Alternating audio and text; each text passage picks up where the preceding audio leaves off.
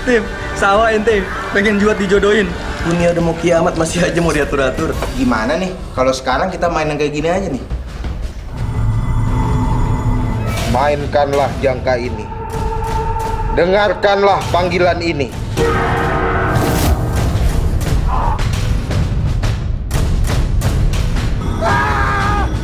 Saya yakin kalian pernah mengganggu kehidupan dunia halus dengan perbuatan yang bodoh. Ampun! Kita harus cari jangka itu.